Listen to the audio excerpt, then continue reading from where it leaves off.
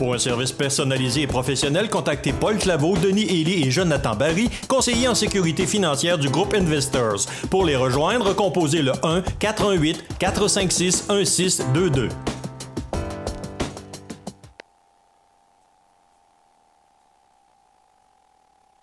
Aujourd'hui, nous sommes toujours sur la côte du Sud, vers la fin de la côte du Sud, et on va vous présenter une entreprise extraordinaire, c'est-à-dire Gantry BCL.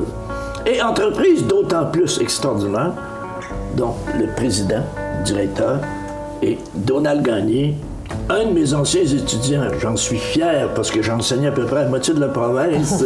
Je suis fier de voir qu'il y en a qui réussissent et c'est extraordinaire.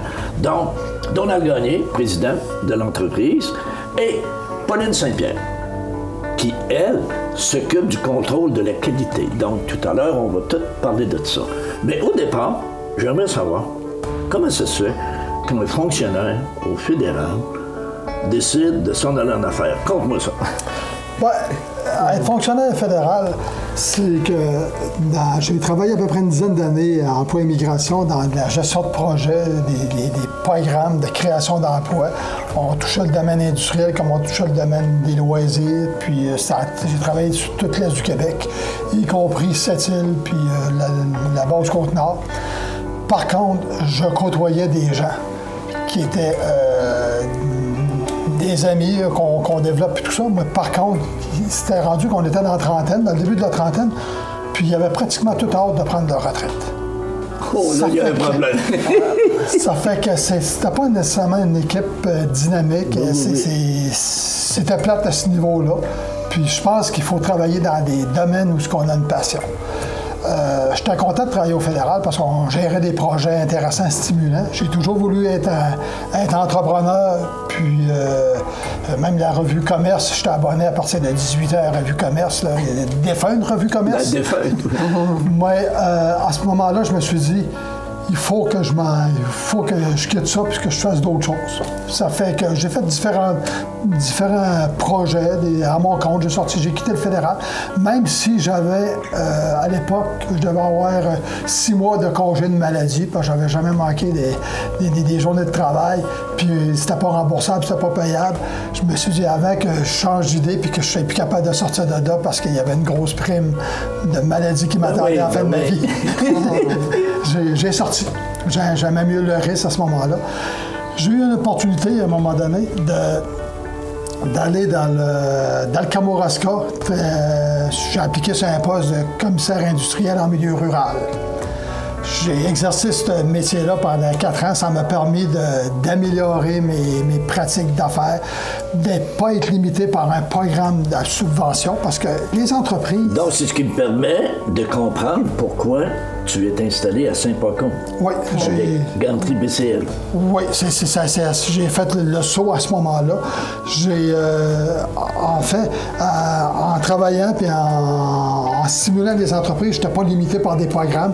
Je pouvais vraiment exercer les meilleures façons parce que les subventions pour aider les entreprises, des fois, ça les, ça les coule plus qu'autre chose. Ça les aide oui, pas. oui. Il ne faut pas perdre notre mission. Il faut vraiment aller dans ce qui est le mieux pour l'entreprise.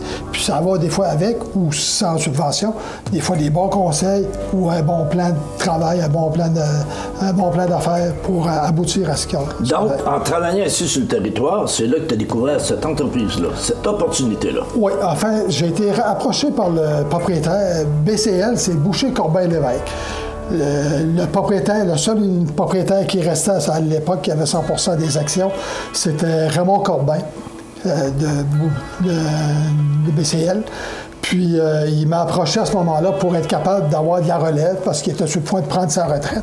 Puis il faut dire que ça, depuis les, derniers, les quelques dernières années, l'entreprise était rendue plus ou moins rentable. À Bataille-là, un peu, là. Oui, il y avait eu une époque, à un moment donné, dans les années 80, où ce que c'était, l'entreprise est partie en 64. OK. C'était difficile. Le marché américain était ouvert à ce moment-là. Les ventes se passaient beaucoup aux États-Unis. Euh, dans les années 80, c'était extraordinaire. L'entreprise a monté jusqu'à 80, euh, une cinquantaine d'employés. Oh! Il y avait un autre plan de production à Saint-Pascal. Il y avait aussi une, une trentaine d'employés là-bas. Ça fait que l'entreprise était florissante. Par contre, à partir des années 90, les, euh, ou avant, des- des- des- à partir des, des années 80, si on peut dire, ça a vraiment baissé. Quand j'ai acheté l'entreprise en, en 91, euh, il restait 8 employés. Tabarnouche. il était ça fondu comme neige au. Il travaillait à temps partiel. le. Puis le chiffre d'affaires, il était rendu à moins de 200 000 par année. Ça fait que c'était c'était vraiment, euh, c'était vraiment sporadique. Puis euh, il vendait sous forme de distributeur directement. C'était la structure commerciale n'était pas vraiment définie. Mais c'est un méchant défi. Il faut vraiment aimer l'aventure pour euh, plonger dans ça. Oui, ben à ce moment-là, j'ai continué un peu ma job de- pendant trois mois euh, comme commissaire industriel. Puis Pauline, à ce moment-là, venait de finir un cours en gestion, euh, en gestion informatisée puis technique administrative. Fait qu'elle a pris le, le- elle a pris le contrôle de l'entreprise les, les trois premiers mois. Donc, là, t'achètes. Oui, j'ai acheté au mois de mars. Il n'y a pas beaucoup d'employés, là, Non, il travaillait à temps partiel. à temps partiel. Puis, mais tu avais combien de sortes de gants, combien de produits? À ce moment-là, on avait exclusivement des gants de cuir. OK. Des gants de cuir un peu avec des, des- le dos en coton. Moi, c'est surtout des gants de cuir qui servaient au niveau de, euh, du soudage. OK. Des, des- des gants de soudeur en syndrome bombardier, c'était un bon client à ce moment-là. Et il y avait quelques autres entreprises en Ontario qui étaient encore euh, intéressées à avoir les gants parce que le prix était compétitif. À ce moment-là, euh, Juste faire un dans- parallèle. ça allait dans les industries euh, d'automobile en Ontario. Juste faire un parallèle, parce qu'on va en parler dans le troisième épisode, on va parler de produits, juste pour le fun. là. Combien de produits différents aujourd'hui? Aujourd'hui, euh, j'ai peut-être une centaine de produits différents. Par contre, dans ceux qu'on fabrique, j'en ai, euh, j'en ai à peu près 10% OK. Puis ces 10% là de ceux qu'on fabrique m'emmènent facilement 70-75% de mon chiffre d'affaires. Il y a des gants que j'ai développés aussi. Par contre, on- je me suis aperçu que si on voulait travailler dans le domaine du gant de travail euh, en Amérique, dans un pays industrialisé, il fallait vraiment avoir un maximum de qualité et avoir des produits de niche. Alors, à ce moment-là, je regardais c'était qui, qui achetait des produits de niche, qui Ben achetait oui. des produits importants. Donc, je me suis aperçu qu'Hydro-Québec, c'était c'était- vraiment un gros consommateur de gants techniques, de gants de qualité, puis tout ça. Ça fait qu'on a étudié les, euh, les besoins d'Hydro-Québec. Puis on a fait une, on a répondu à un premier appel, euh, si ça va toujours par soumission, on a répondu à un premier appel à ce moment-là, en emmenant des cuirs euh, vraiment haut de gamme, parce qu'à ce moment-là, on avait développé des, des contacts intéressants pour euh, avoir des, la, la matière première. Si on n'a pas une bonne matière première au départ, c'est très dur de faire des, bons produits. Ça fait que le cuir, on avait des, des très bons cuirs à ce moment-là, qui étaient faits en Australie. Ouais, euh, Et puis, euh, c'était des. Mais on va, on va y revenir dans le deuxième épisode quand on va parler de production, parce que là, on s'en va précisément. Ce que j'aimerais, c'est de 91 à aujourd'hui, Ouais. les différentes évolutions. OK. En 91, quand on a acheté à ce moment-là, euh, on a parti, on a amélioré les productions, on a rentré la, la qualité, OK. Mais euh, euh, les gens à ce moment-là, on, a, on a focusé pour avoir un meilleur contact, une meilleure publicité, avoir un catalogue pour promouvoir nos produits. On n'avait pas vraiment de catalogue. T'avais pas d'outils, là. Ah non, on n'avait pas d'outils. On avait, on avait un, un Mac, puis à ce moment-là, ça marchait à disquette. Puis euh, on faisait des gants puis des mitaines. Puis euh, j'avais une disquette pour faire les gants pour, avec mon chiffrier. Puis euh, c'était beau puis tout ça. Puis pour être capable de que mon chiffrier soit complet pour aller voir les coups, les coutants puis tout ça, il fallait que je rentre une autre disquette puis ça, c'était des mitaines. Ça fait Donc que- là, là, ça, c'était c'était primitif au départ. Moi, on avait quand même de quoi de, qui, qui était mieux qu'à la main. Si on regarde à cette époque-là versus aujourd'hui, on peut pas parler d'évolution, on pourrait même dire révolution. non, non, c'est vrai. Oui, même L'entreprise est totalement changée. là. Mais à ce moment-là, l'usine n'était pas celle d'aujourd'hui. là. Non, on était dans, en plein cœur du village de Saint-Pacôme. C'est un ancien bâtiment, c'est un ancien couvent qui avait été abandonné à ce moment-là, puis euh, il y a eu une autre construction pour les, qui a été transformée en école. Après ça, il y a eu une, autre construction pour une, école neuve. Il était abandonné. Il y a eu de la manufacture qui était faite un bout de temps. Puis en 64, le propriétaire a transformé ça en, en ganterie. Puis quand je l'ai acheté, à ce moment-là, j'ai... Euh, euh, si on regarde au niveau de l'évolution, je savais que j'avais, une très bonne équipe de travailleurs parce que c'était, intéressant, une main-d'œuvre. Il y en a même qui nous.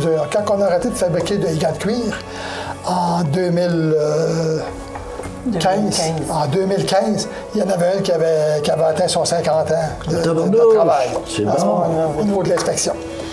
Euh, là, à ce moment-là, on a rentré en 2002 environ.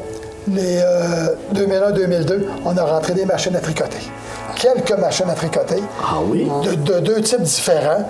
Ça a été pour. Euh, c'était un programme qui était intéressant. J'ai eu un programme de subvention d'aide à ce moment-là pour acheter les deux premières machines. C'est qu'il y avait eu à l'époque, ça arrive souvent, encore un problème au niveau de, l'industrie du bois d'œuvre. Les Américains, encore là, ils boycottaient les, produits canadiens. Ils mettaient des des douanes, des frais de douane très, très élevés. Puis il fallait que la région de la côte du Sud, du Bas-Saint-Laurent, euh, de la Gaspésie puisse se diversifier. À ce moment-là, ils ont sorti un programme de diversification économique, puis aider à payer le support que les industriels pouvaient avoir pour se diversifier. L'industrie dans le textile, c'était pas évident. Moi, ils se faisaient des gants plus techniques, avec des fibres et tout ça, avec des, des machines à tricoter. Ça fait que J'en ai acheté deux, de deux types différents pour être capable de nous diversifier puis essayer d'explorer le marché. Qu'est-ce que je pourrais faire avec ça? OK. Donc, ça, regarde, pour résumer rapidement, parce qu'on se prépare pour le prochain épisode, tu avais déjà pris à cette époque-là ta décision d'aller dans des produits de niche. Oui, oh oui. Donc, telle industrie, tel produit, on est capable. Telle industrie, tel produit, on est capable. Donc, c'est vraiment intéressant. Quelle belle histoire. Et on revient la semaine prochaine pour l'évolution.